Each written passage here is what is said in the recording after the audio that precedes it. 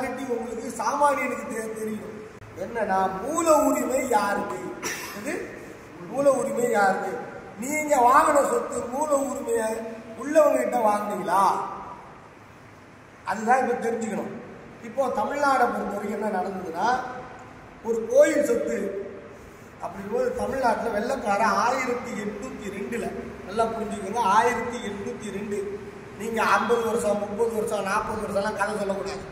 நேரம் ஆயிரத்தி எட்நூத்தி ரெண்டு தான் வெள்ளக்காரன் உருவாக்குற ரெக்கார்டு அந்த ரெக்கார்டில் தமிழ்நாடு ரெண்டு கிராமமாக இருக்கு.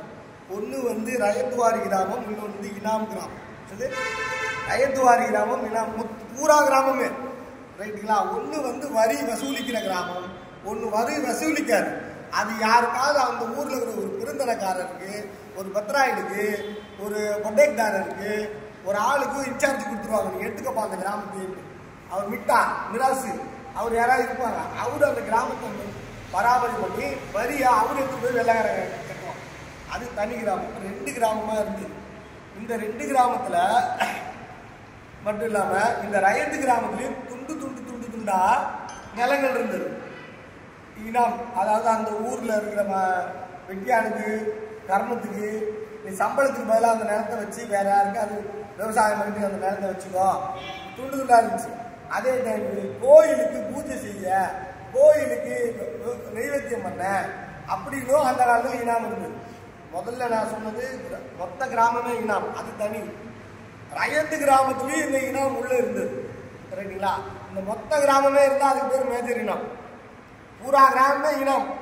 இனம் ரைட்டுங்களா?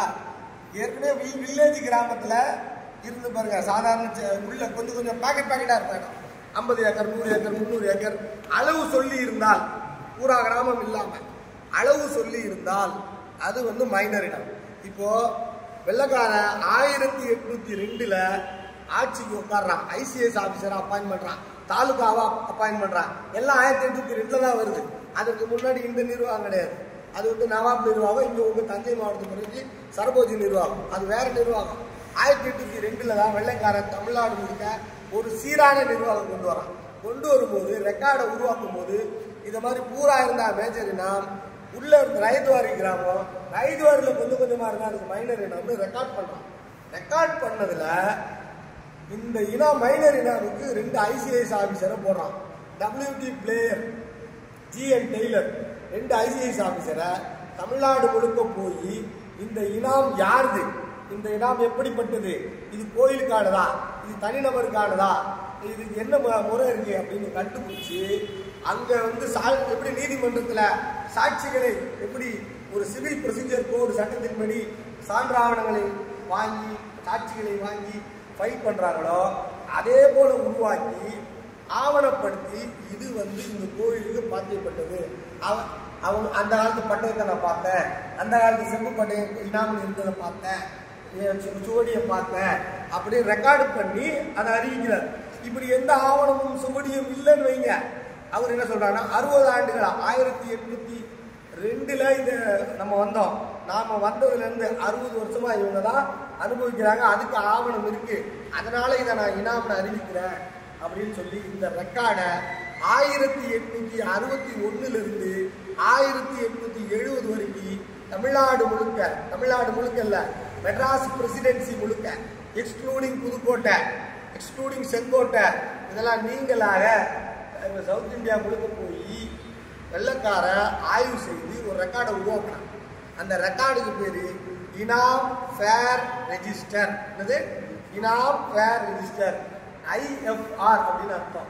அந்த ரெக்கார்டில் இது ஒன்று இவங்களுக்கு தான் மூல உரிமை அப்படின்னு அவன் ஆவணப்படுத்துகிறான் அதில் இந்த தேவ உங்களோட தேவஸ்தானம் பேர் நமக்கு அது சிக்கல். உங்களுக்கு புரியுதுங்களா? அவங்களுக்கு ரெக்கார்டு இல்லை நீங்க சொல்லக்கூடாது. இந்த ரெக்கார்டு இருக்குது. எந்த ரெக்கார்டு ஐஎஃப்ஆர் இனாம் தூய பதிவேடு இருக்குது. ஏன் இருக்குதுன்னு சொல்ற கேளுங்க. அப்புறம் சுதந்திரம் அடையுது. இது ஆயிரத்தி எட்நூத்தி அறுபத்தி ஒண்ணு சுதந்திரம் அடைஞ்ச இந்த மேஜர் இடாம ஒழிக்கணும் இந்த ஜமீனை ஒழிக்கணும் அப்படின்லாம் சட்டம் போட்டாங்க. நைன்டீன் ஃபார்ட்டி எயிட் ஆக்ட்ல மேஜர் இடாம ஜமீன் வில்லேஜ் எல்லாம் அழிச்சிட்டு அதை சாதாரண வில்லேஜாக மாற்றிட்டு ரெவன்யூ ரெக்கவரி ஆக்ட்னு ஒன்று போட்டு நேரடியாக வரி வசூல் பண்ணுறத இந்த நம்ம தமிழ்நாடு அரசு எடுத்துக்கிச்சு சரிங்களா?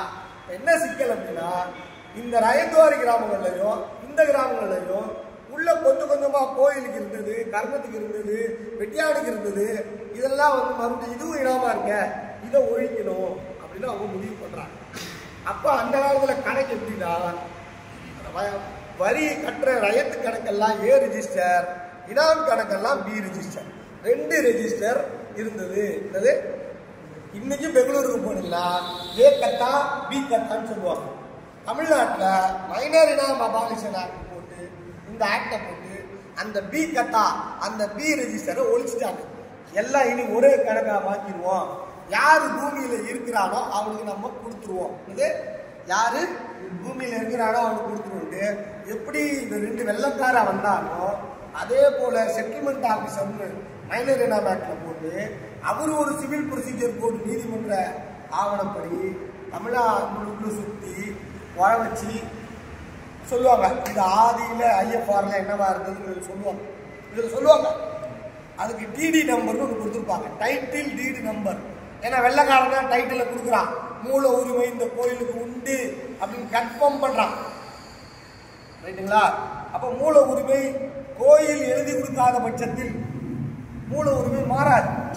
காஞ்சிபுரத்தில் மூல உரிமை கோயிலுக்கு இருக்கு. அந்த காலத்துல கோயிலில் இருக்கிறவங்க நில வச்சிருக்கிறவங்க எல்லாம் சொத்தை விற்கிறாங்க சொத்தை இன்னொருத்தர் விற்கிறாங்க விற்கும் பொழுது வரி வகையினை கோயிலுக்கு கட்டிக்கொள்ள வேண்டியது ஒரு வார்த்தை போட்டுருவான் அது ஏன்னா அது அரசாங்கத்துக்கு சம்பந்தப்பட்டதல்ல கோயிலுக்கு சம்பந்தப்பட்டது அதுக்கு பேர் இஜா கிரயம்னு பேர். என்னது? இஜா இஜானா குத்தகை கிரயம் அப்போ அதை நம்ம பண்ணிக்கலாம் மாற்றிக்கலாம். இஜா கிரயம் ஆயிரத்தி தொள்ளாயிரத்தி முப்பத்தி ஏழில் இஜா கிரயம்னு இருக்கு. ஆயிரத்தி தொள்ளாயிரத்தி ஐம்பத்தேழில் வெறும் கிரயம்னு இருக்கு. தொண்ணூத்தி ஏழில் சுத்த கிரயம் இருக்கு. அது நாம பத்திரம் போட்டுக்க போட்டுக்க. காலம் வார வாரம் போட்டு. இத மாதிரி பண்ணக்கூடாதுன்னு ஆயிரம் ரெண்டாயிரத்தி பன்னெண்டுல ஹெச்ஆர்என்சி ஆக்ட்ல சுத்த கிரயத்தை தவிர வேற எந்த கிரயமும் பண்ணக்கூடாது. அப்படின்னு பன்னெண்டுல தான் அமெண்ட்மெண்ட்டே போடுறாங்க. அதுக்கு முன்னாடி வரைக்கும் எல்லா பத்திரமும் நடந்துட்டு இருக்கு. உங்களுக்கு புரியுதுங்களா சொல்லி வந்து? குழப்பங்களுக்கெல்லாம் குழப்பம் இது ஒரு பெரிய குழப்பம். கோயில் சொத்தா இருக்கும் போதே அது நூறு பத்திரம் வந்துடும் ஐம்பது பத்திரம் வந்துடும் ஆயிரத்தி தொள்ளாயிரத்தி பன்னெண்டா? ஆயிரத்தி தொள்ளாயிரத்தி பன்னெண்டு ஏ கிடையாது உங்க தஞ்சாவூர் அதான் நான் சொல்றேன். அதாவது ஏ- ஏ இருக்கட்டும் இதெல்லாம் அனுபவம் நான் பேசிட்டு இருக்கிறது டைம் நான் டைட்டிலை பத்தி பேசிக்கிட்டு இருக்கேன். நிலத்துக்கு ஆதியில இருந்து டைட்டில் யாருக்கோ சொந்தமா இருக்கு. ஒரு ட்ரஸ்ட்டுக்கோ ரிலீஜியஸுக்கோ ஒரு மத சார்ந்த நிறுவனத்துக்கோ சொந்தமா இருக்கு. மூல உரிமை. அவன் என்ன பண்றான்? யாருக்காவது வேணும் அந்த காலத்துல லேபர் கிடையாது அவனுக்கு. யாருக்காவது குத்தகை விட்டு நீ விவசாயம் பண்ணி அதுல வரத கொடுத்தாதான் அன்னைக்கு காசு இன்னைக்கு வந்து எக்கனாமிக் மாறிடுச்சு ஃபேக்டரி கட்டலாம் இன்னைக்கு தொழில் மாறிடுச்சு. இன்னைக்கு நான் அன்னைக்கு விவசாயத்தை தவிர வேற வருமானமே ரெவன்யூவே கிடையாது. அன்னைக்கு பயிர் செஞ்சாதான் அதனால ரைத்துக்கு நிலத்தை கொடுத்துருப்பா குத்தகை வச்சிருப்பான் ஆனால் அன்னைக்கு இப்போ மூல உரிமையே அன்னைக்கு இருக்கு. ஆனால் நிறைய பத்திரங்கள் நான் காஞ்சிபுரத்தில் சொன்னது போல நிறைய மாறிக்கிட்டு வந்திருக்கு. இப்போ இந்த நிலையில அறுபத்தி ஆறுல இவர் உட்கார்றாரு. உட்காந்து இப்போ மைனர் இனாம் அபாலிஷன் ஆக்ட் தாசில்தார் வந்து உட்காடுறாரு உட்காந்து கூப்பிடுறாரு. வாங்க அப்படி கூப்பிடுறாரு. உங்க பத்திரத்தை எடுத்துட்டு வரீங்க. நான் மூல உரிமை கோயிலுக்கே இருக்குது. ஐஎஃப்ஆர்ல ஆயிரத்தி எட்நூத்தி அறுபத்தொன்னுல கோயிலுக்கு இருக்கு. நீ எப்பப்போ வாங்கின? நான் அந்த பூசாரி இருந்து ஆயிரத்தி தொள்ளாயிரத்தி முப்பதுல வாங்கினேன். அப்படியா? நாற்பது கணக்குல என் பேர் தான் இருக்குது.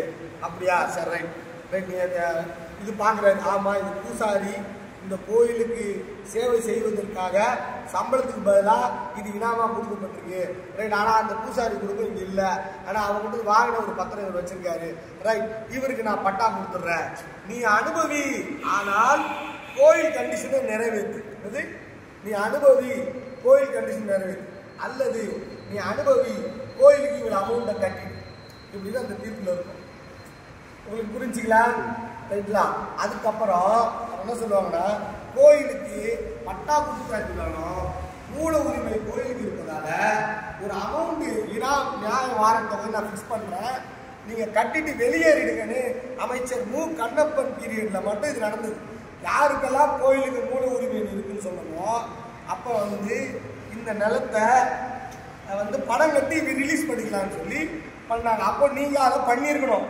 அந்த பீரியடில் அதை பண்ணியிருக்கணும். அப்பதான் மூல உரிமையை விட்டு வெளியே போக முடியும். இது காலில் கட்டின பெரும் குண்டு காலில் கட்டின சனி. ரைட்டுங்களா சொத்தை விட்டு போவே போகாது. மூல உரிமை கால் பின்னாடியே இருக்கு. அர்த்தம் விட தெரியல அந்த காலம் காலங்காலம் இப்போ நீங்கள் இப்போ நோட்டீஸ் கொடுக்குறாங்கல்ல பட்டா வாங்கியிருக்கேன் அப்ரூவ் வாங்கியிருக்கேன் ஆரம்பத்தில் பத்திரம் செல்லாதுன்னு நான் சொல்லிட்டேன். ப்ராப்பர்ட்டி ட்ரான்ஸ்ஃபர் ஆக்டே அதை சொல்லிட்டான். கண்டிஷனில் இருந்தால் செல்லாது அதை அவனை கட்டுப்படுத்தாரு ரைட்டுங்களா?